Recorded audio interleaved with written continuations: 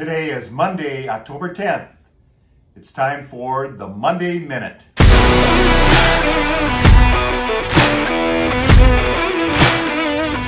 Volleyball postseason assignments and brackets were posted last Friday. Those are available on our website and also on Bound. If you are hosting, make sure you check out the regional manual that is also on our website under the volleyball section in Coaches and Administrators.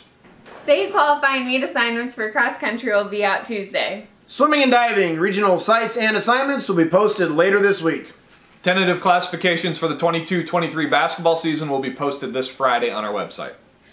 Wrestling coaches, make sure that you've got track wrestling login. For those of you who don't, please email me right away and we'll get you set up.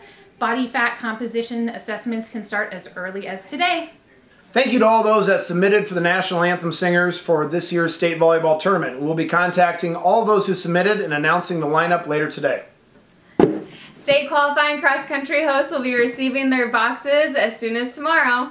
Shout out to Smitty's for our new designs for our wrestling officials apparel. We've got IHSAA, IGHSAU dual logos, flag on the back, chest print, IGHSAU, and the flag on the side there.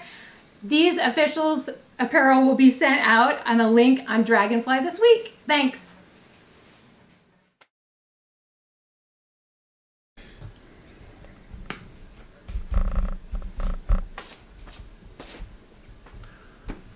Want to give a quick shout out to Smitty's for designing our new officials wrestling.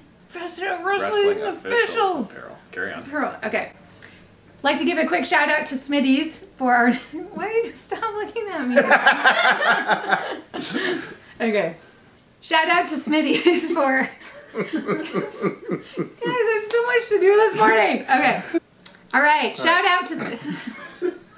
Taylor, that was gonna be the best one. Okay. Okay. Shout out to Smish. Smith.